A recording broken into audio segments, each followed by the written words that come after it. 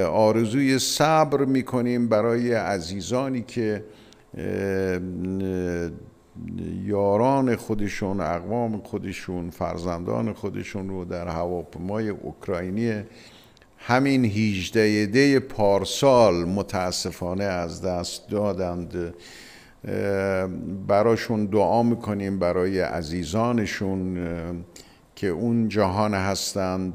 حسن روحانی رئیس جمهور ایران روز پنجشنبه در یک سخنرانی پس از آنکه دقایق طولانی درباره خدمات قاسم سلیمانی به حکومت جمهوری اسلامی صحبت کرد و از پنج نفر یاد کرد که در جریان تظاهرات ضد حکومت شاه در روز 19 دی سال 1356 در قم کشته شده بودند.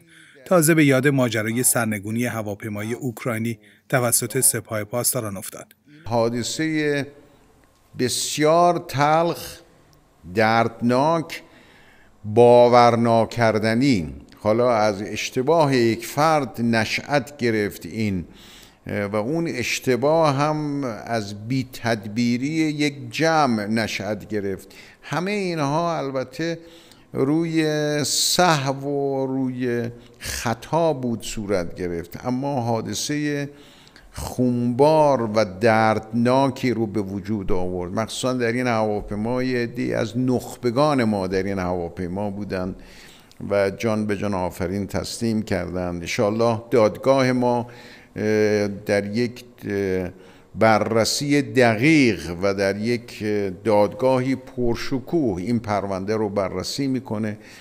این بخش از اظهارات حسن روحانی حاوی یک اعتراف بزرگ بود.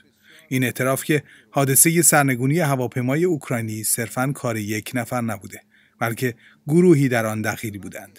و این موضوع موضوع بسیار مهمی است چرا که حقیقت آن است که دو نفر از اعضای این گروه که در آن به اصطلاح دادگاه باشکوه باید محاکمه شوند خود حسن روحانی و آیت الله خامنه ای رهبر جمهوری اسلامی هستند. قطعا سران سپاه پاسداران باید به عنوان افرادی که جنایت را مرتکب شدند به دادگاه کشانده شوند. ولی جنایت آنها بدون مشارکت شورای عالی امنیت ملی و تایید رهبر جمهوری اسلامی میسر نبود. شورای عالی امنیت ملی که ریاست آن را حسن روحانی بر عهده دارد نهادی است که باید دستور توقف پروازهای غیر نظامی را صادر می کرد ولی آمدانه این کار را انجام نداد. طبق قانون اساسی جمهوری اسلامی تمام تصمیمات شورای امنیت ملی باید به تایید خامنه ای برسد و پس از تایید رهبر این تصمیمات لازم الاجرا هستند. و همین امر بدین معناست که رهبر هم در این جنایت شریک بوده. امیرعلی حاجیزاده فرمانده هوافضای سپاه در یکی از کنفرانس‌های خبریش چند روز پس از سرنگونی هواپیمای اوکراینی افشا کرد که درخواستی برای توقف پرواز هواپیماهای مسافربری ارائه شده بود ولی با آن موافقت نشده. ما چندین بار درخواست کردیم که فضای کشور از پروازها متوقف بشه. یعنی اصطلاحا میگن باید فضا کلیر بشه. در شرایط سه سه طبیعی این درخواست هم انجام میشه. حالا به واسطه بعضی از ملاحظات شاید این کار رو عزیزان ما دنبال نمی‌کنن. یعنی تو هم با پروازها این شرایط جنگی هم ادامه پیدا می‌کنه. تردیدی نیست که روحانی خامنه ای و دیگر سران نظام آگاهانه پرواز هواپیماهای مسافربری را لغو نکردند تا یک نوع سپر انسانی ایجاد کنند. سپاه پاسداران به یک پایگاه نظامی نیروهای آمریکایی در عراق چندین موشک شلیک کرده بود و منتظر واکنش آمریکا بود. مقام های ارشد سپاه از جمله حاجی زاده اعتراف کردند که همه نشانه ها حاکی از حمله قریب الوقوع آمریکا به ایران بود. با این وجود سران نظام جمهوری اسلامی تصمیم گرفتند به هواپیماهای مسافربری اجازه پرواز بدن تا کار برای آمریکا سخت شود. مقام های جمهوری اسلامی امیدوار بودند که هواپیمای اوکراینی را موشک های آمریکایی سرنگون کنند تا آنها برای ده سال آینده خوراکی برای مظلوم نمایی در سطح بین المللی داشته باشند. اما پس از آنکه نیروهای آمریکایی چنین اشتباهی را مرتکب نشدند خودشان دست به این جنایت زدند. جالب اینجاست که آنها بسیار تلاش کردند که سرنگونی هواپیما را به گردن آمریکا بیاندازند. سپاه حتی در سالگرد سرنگونی هواپیمای اوکراینی مدعی شده که این حادثه نتیجه ماجراجویی آمریکا بوده. این در حالی است که سپاه با حمایت سران حکومتی تا به امروز هیچ اقدامی در راستای شفافسازی درباره ابعاد جنایت اتفاق افتاده انجام نداده بلکه حد اکثر تلاشش را به خرج داده که واقعیت روشن نشود. بامداد پنج شنبه به تهران رسیدیم. اظهارات رئیس تیم تحقیقاتی اوکراین از بخشی از این تلاش ها پرده برداشته. رفتیم هتل سریع وسایلمون رو گذاشتیم و خواهش کردیم که سریعتر ما رو به محل حادثه برسونن. اما ما رو به اونجا نبردن. ما رو به محلی بردن که لاشه هواپیما به آنجا منتقل شده بود. تپه و تلی بزرگ از قطعاتی دیدیم که پیشتر یک بوینگ 737 بوده. پرسیدیم این چه وضعیه؟ چرا این قطعات جابجا جا شده و محل حادثه رو به هم زدید؟ بررسی هر حادثه هوایی اول از همه با بررسی قطعات و جای اونها آغاز میشه. اگر قطعات سر جاش بود می‌تونستیم تشخیص بدیم موشک با چه زاویه‌ای به هواپیما نزدیک و منفجر شده. به ما گفتن تصمیم گرفتیم تمام قطعات رو به اینجا منتقل کنیم. تا محل حادثه حدوداً سی کیلومتر فاصله بود. به اون تپه نگاه کردیم به ما گفتن باید به جلسه بریم. ما رو به ساختمان سازمان هواپیمایی کشوری برد مدت زیادی طول کشید تا همه جمع شن و این جلسه آغاز بشه.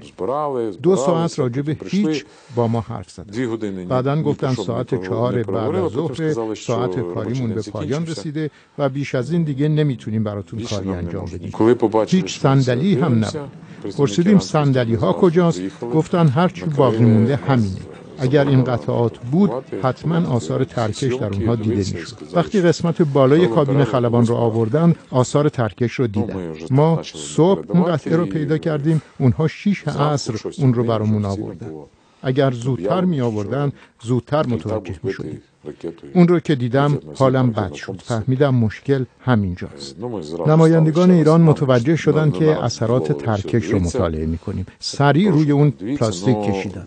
تذکر دادن که نمی‌تونیم عکس بگیریم و گفتن امروز بس فردا ساعت هشت صبح هم دیگر رو می‌بینیم. صبح روز بعد اعلام شد که هواپیما با موشک سامانه تور سرنگون شده.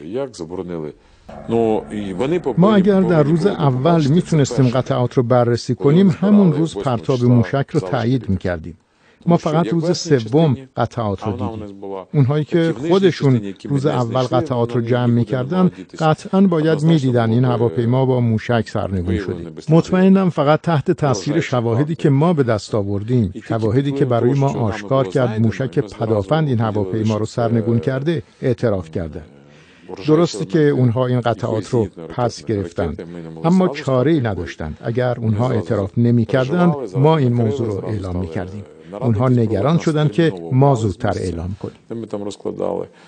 شما وقتی که سوار خودرو میشید نگاه می‌کنید جاده کجاست پیاده رو کجاست. فرض ما اینه که اپراتور سامانه از دستورالعملهای مشخصی پیروی می‌کنه. این دستورالعمل یا پروتکل از زمان شوروی سابق برای تور تعیین شده. یعنی اقداماتی که تیم این سامانه موشکی مرحله به مرحله انجام میده تا از آمادگی کامل خودش به فرمانده گزارش بده. همین دستورالعمل در ایران هم هست و کافی است به ما توضیح بدهند که تیم این سامانه چگونه عمل کرده. ما در تیممون متخصصانی داریم که بیش از 20 سال عملکرد سامانه های موشکی از جمله تور رو تدریس می کنند در شرایط جنگی از این سامانه ها استفاده کردند و نظر قطعیشون اینه که اپراتور نمی‌تونست هواپیمای مسافربری رو که در حال ارتفاع گرفتن بود با موشک کروزی که نباید ارتفاعش بیش از هزار متر باشه و ظاهر و سرعتش کاملا متفاوته اشتباه بگیره. درباره توضیحات ایران تردیدهای جدی داریم. مثل هواپیما که جعبه سیاه داره سامانه موشکی هم جعبه سیاه داره. اگر اطلاعات اون رو در اختیار ما بگذارن می‌تونیم بفهمیم روی کرد این سامانه چی بوده. چنین درخواستی رو از طرف ایرانی هم مطرح کردیم اما پاسخی نداد